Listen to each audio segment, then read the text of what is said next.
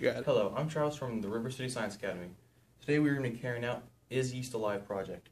We will carry out an indirect test for metabolism. In other words, we will be indirectly testing whether yeast can use energy, which is one of the characteristics of living organisms.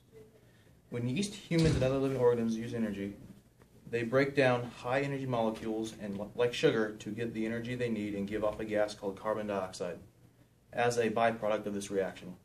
We will test whether yeast can metabolize sugar and produce a gas, which we will presume is carbon dioxide. Specifically, we will test whether yeast produces a gas when it has sugar available as a food versus when no sugar is available. Alright, here's the procedure. Set up four test tubes in a test tube rack.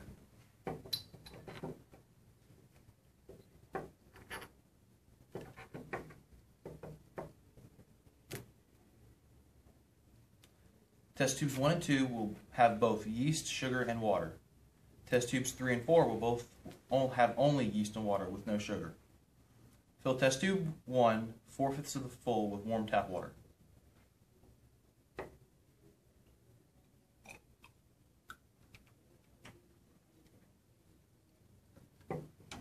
Add one packet of dry yeast a little bit at a time, mixing the yeast thoroughly before adding more.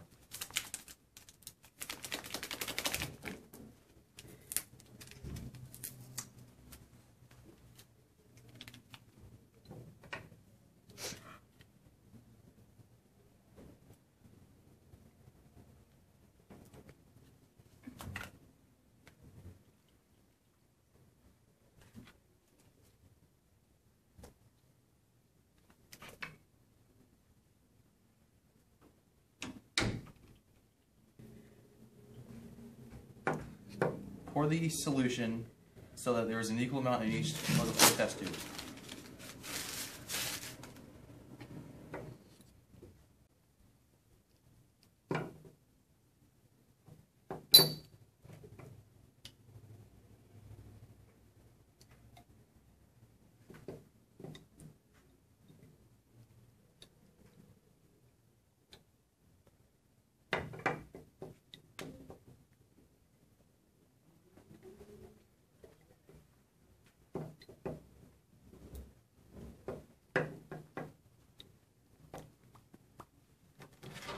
Add half a packet of sugar to test tube 1 and the other half to test tube 2. These tubes will be your experimental group. Do not add sugar to test tubes 3 and 4.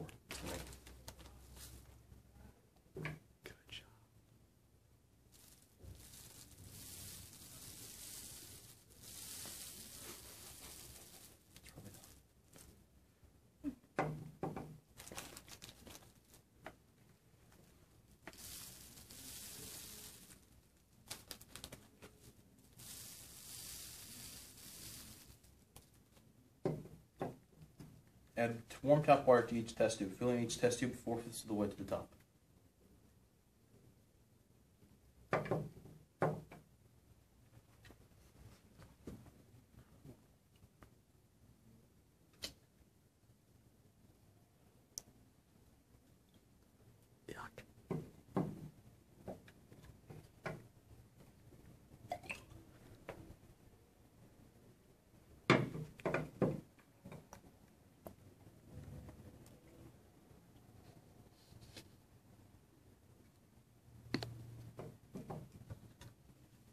Cover the opening of each test tube with a balloon to catch any gas that is formed.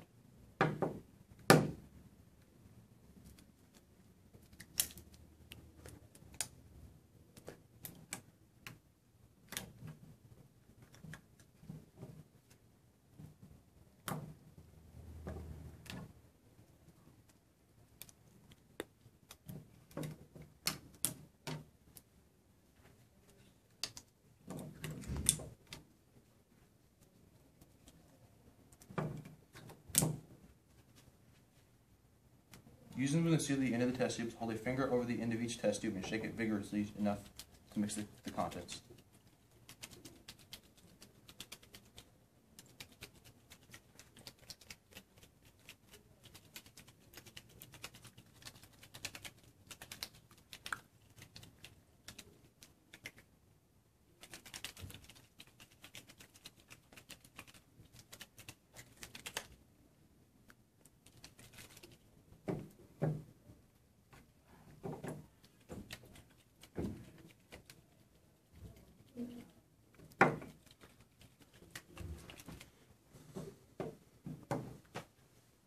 It will take some time for the yeast to metabolize and form carbon dioxide.